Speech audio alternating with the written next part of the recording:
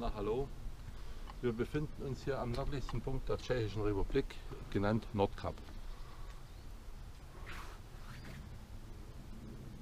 Was bedeutet das hier? Das bedeutet, dass es wirklich der nördlichste Punkt von Tschechien ist.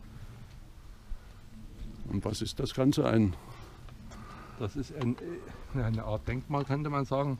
Die wollen ihre Position, wollten die halt äh, klarstellen, wo Norden, Süden die Tschechische Republik beginnt oder endet. Ja, das gibt es am, am südlichsten Punkt in der Tscheche auch, das ist unten in Bayern. Gibt es auch so eine ähnliche Sache und die haben das halt so gemacht. wie ist das geschichtlich zu verstehen? Es ist geschichtlich zu verstehen, dass nach dem Ersten Weltkrieg äh, 1918 am 28. Oktober die Tschechische Republik, Tschechoslowakische Republik gegründet ist worden. Und zwar von den damaligen, ja, ich will nicht sagen Besatzungsmächten, wie sagt man dazu? Egal. Äh, von den Siegern, jeden- von den Siegermächten ist es halt festgelegt worden, dass von Österreich-Ungarn die Tschechische Republik, äh, Tschechoslowakische Republik freigesprochen wurde und nicht mal zu Österreich-Ungarn gehörte, sondern ein selbstständiges Land war. So ist das. Das liegt ja nun mitten im Wald hier, Ja. mitten im Waldgebiet. Wir laufen ja auf deutscher oder auf tschechischer Seite. Das ist kein Problem. Wie, wo sind wir genau? Jetzt sind wir auf tschechischer Seite.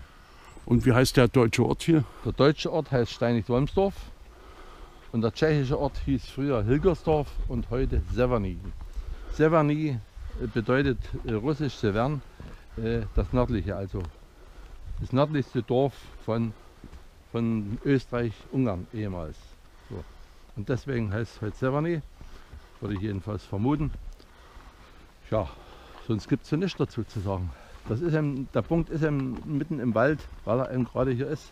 Die Grenzen bestehen seit 1100 und so viel ich weiß 65 sind hier äh, die alten Grenzmarkierungen und die sind so.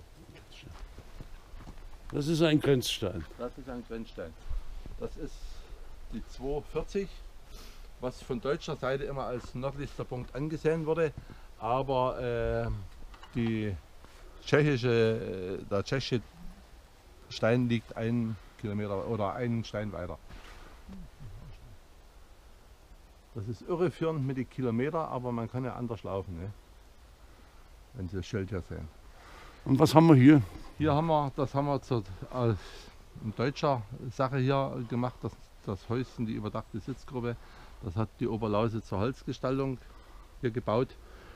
Mit, ja, war ich halt mit dabei, mit zwölf Leuten MAE Angestellten, also ein Eurojobber. Und das kann man hier täglich besuchen. Das, Das kann man täglich besuchen, hier gibt es keinen Eintritt. Also alles umsonst, immer eine schöne Stelle mitten im Wald.